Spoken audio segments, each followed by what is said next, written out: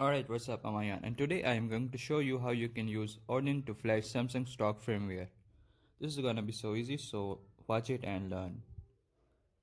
First of all, we need to extract the image that we downloaded.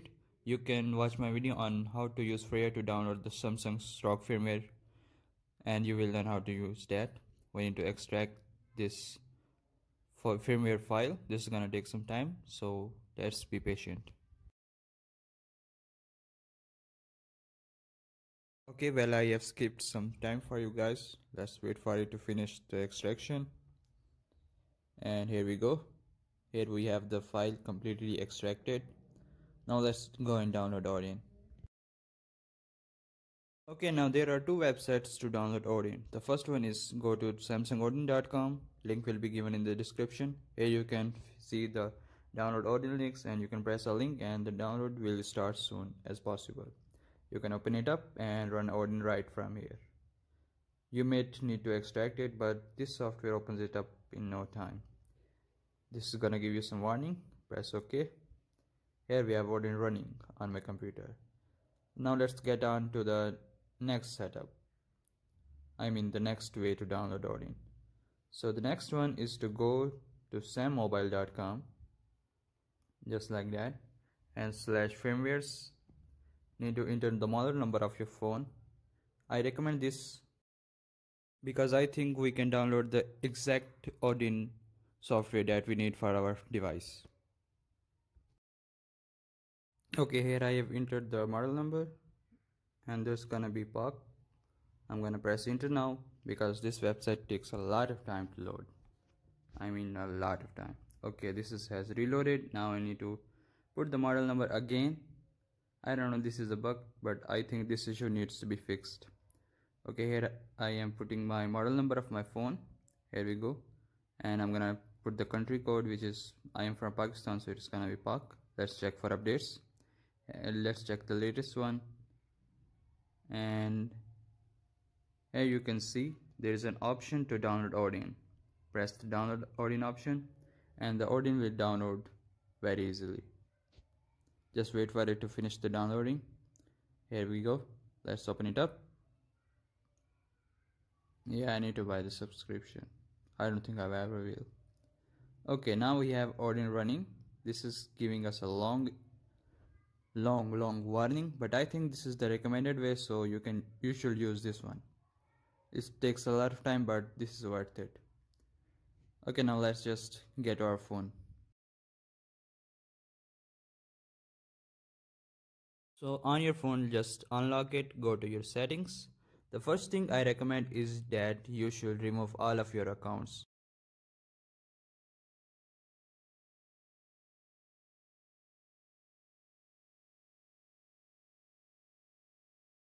Here I have all the accounts that I am signed on so I'm gonna remove all of them one by one.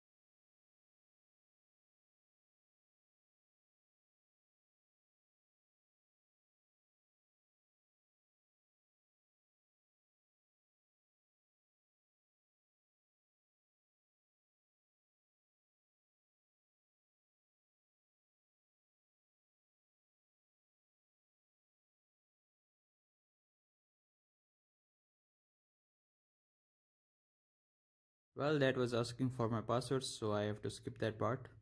You know, for security reasons. Now, we need to go to the developer options. You should know how to turn on them. And first of all, you need to go and turn on OEM unlocking and USB debugging. these two options should be unlocked so that is the way to do it OEM unlocking is not necessary unless you are doing something else okay well, I need now I need to connect the cable to my you know phone. Oh no this is so hard to do it on why by one hand. Okay I have connected the cable. Let's plug the other end into your laptop or computer whichever one you are using. Okay now it is connected. As you can see the device has been added here. Now we need to go into the bootloader mode so first of all to go into bootloader you need to turn off your phone. Wait for it until it vibrates. Okay now my phone is completely off. And now all I need is to hold on the volume keys. And here we are in the bootloader section in the download mode. Now let's press the power key and now my phone is in downloading mode let's get back to the computer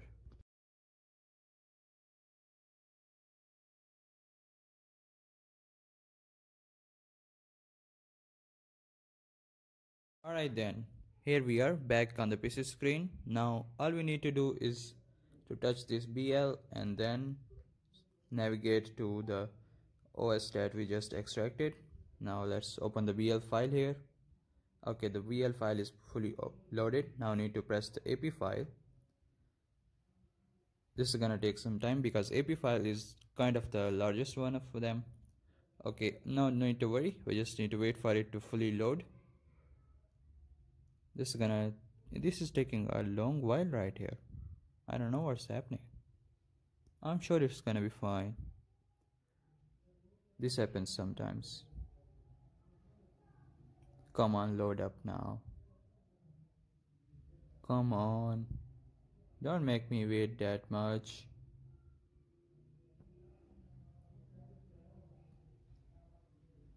And that is taking long. Let's just wait for it.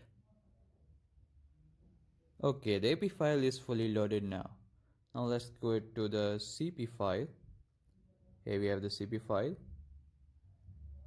and here we have the CSC file. Let's open that one up.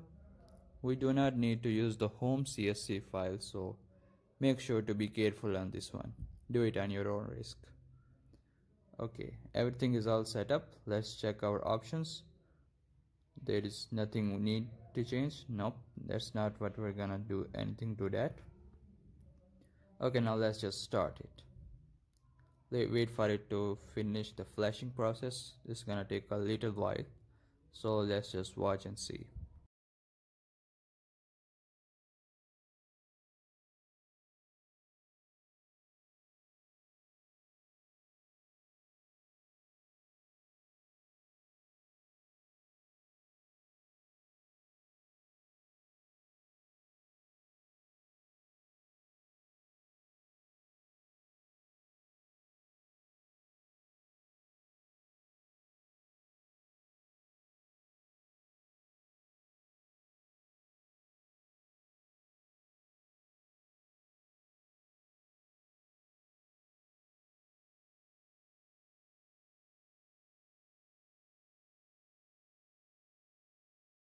Well, I speed up the process and now we can see the pass sign dialog here.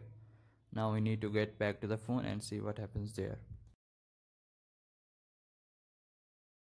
Okay, here we can see there is a progress bar right at the end of it. Now all you need to do is to press all those buttons and the phone will just restart. Let's press all these three buttons simultaneously and the phone is now restart it. So easy right? Let's wait for it to finish the loading. This is gonna take some time at first because the software is just freshly installed. Let's wait and see what happens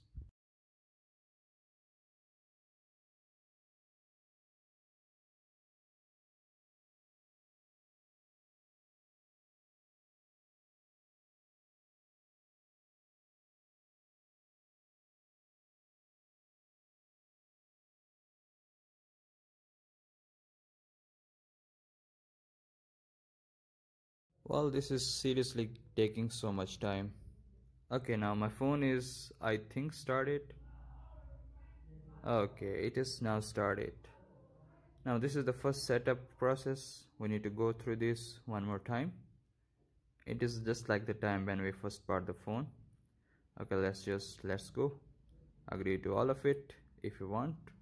The first two are necessary but the others are just optional okay I have agreed here. Let's wait for it. Now I'm not gonna use the Wi-Fi this time. I'm gonna skip this process. This is gonna take so time to you know work.